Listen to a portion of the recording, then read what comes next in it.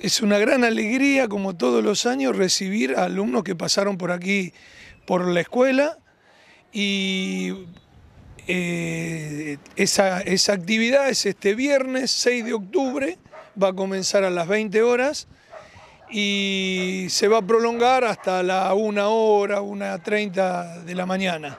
¿En qué lugar de la institución se va a hacer? Eh, contamos con que va a haber buen clima, eh, nosotros no tenemos patio cubierto, va a ser en el patio central. Hablamos con, aquí hay una característica, a pesar de ser una escuela técnica, nuestros alumnos y exalumnos tienen mucha condición para lo artístico, así que armamos una grilla donde va a haber música en vivo y bueno, lo, los protagonistas van a ser los exalumnos. Así que entonces un precio de entrada totalmente accesible para que puedan venir todos. Sí, anticipada 200 pesos y en el, en el momento a las 20 horas 350 pesos. ¿Lo recaudado tendrá algún destino? Sí, lo recaudado es eh, para ayudar a solventar gastos del segundo viaje al Cerro Champaquí. ¿Son muchos los chicos que viajan?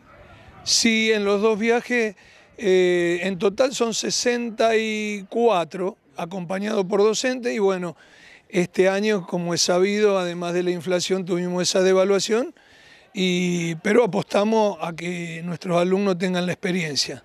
¿Habrá servicio de cantina y otras cuestiones? Servicio de cantina y acomodado los precios para que todo el mundo pueda disfrutar. Si alguien quiere bailar, cantar, también puede sumarse. Así es, como te dije recién, ya hay eh, algunos exalumnos y algunos docentes que van a, hacer música, van a interpretar eh, distintos ritmos. Recordemos, ¿cuándo y dónde este encuentro de promociones? Es este viernes aquí en la escuela a partir de las 20 horas.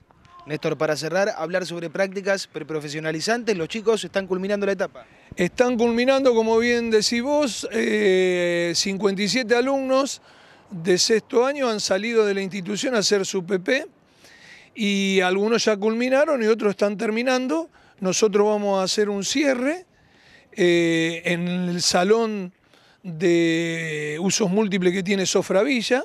Ya hablé con el gerente de Sofravilla y vamos a invitar un solo cierre, vamos a hacer, normalmente lo hacíamos aquí en la escuela, eh, lo vamos a hacer con la gente que nuclea Sidecon y el Centro Comercial Industrial y de la Producción.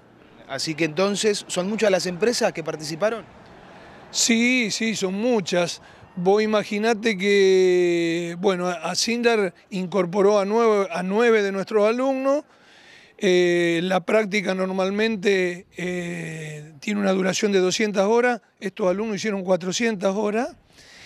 Y, y como decíamos recién, después están dispersos dos, tres en instituciones comerciales e industriales de aquí de Villa Constitución.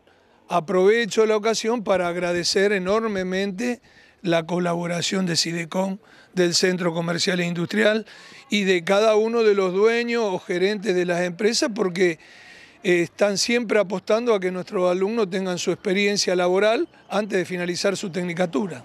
Para cerrar, ¿ya tiene fecha ese acto de cierre?